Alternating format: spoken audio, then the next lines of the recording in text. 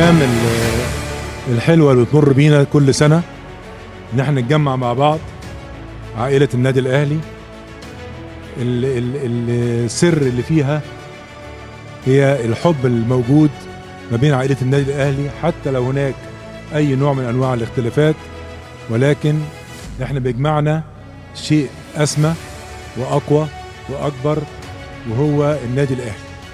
النادي الأهلي طول عمره أسس ومبادئ وقيم بنتجمع عليها حتى لو اختلفنا عندنا حدود حتى لو ربنا كرمنا وحققنا إنجازات برضو آه نبص دايما للي جاي.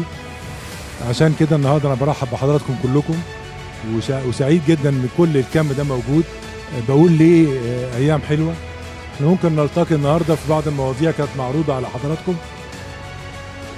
المواضيع دي هتكون آه، بعد بس ما تعلن النتيجة هتكون من آه، يعني تعود مرة تانية لمجلس إدارة اللي هو بيتشرف إن أنتوا آه، يعني اديتونا ثقتكم.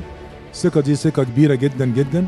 في بعض يمكن من أعضاء مجلس إدارة قبل ما اكمل كلامي في ظروف في ما حضرش أمين الصندوق المهندس خالد مرتجي لكن هو داخل معانا على زوم في الجامع دوت اللي إحنا فيه.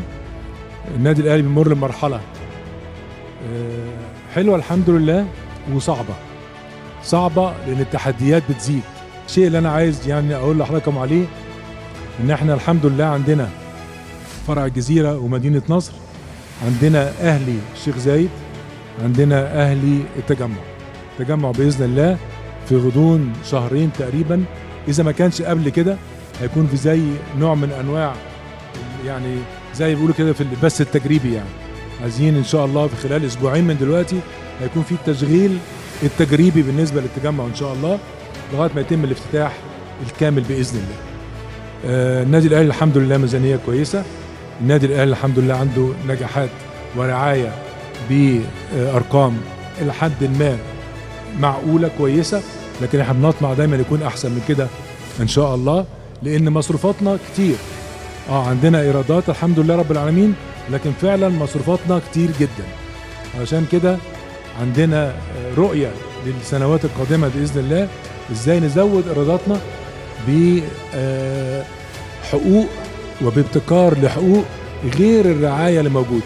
عشان إن شاء الله ندخل موارد تانية بإذن الله. إذا ربنا وفقنا يعني إحنا هنسعى في ده وبإذن الله نطلب من الله التوفيق يعني. تاني مرة تانية برحب بحضراتكم كلكم بشكركم كلكم على الحضور. وأسيب بقى لدكتور سيد حسين يكون هو يتولى إدارة الموضوع. شكرا. السلام عليكم.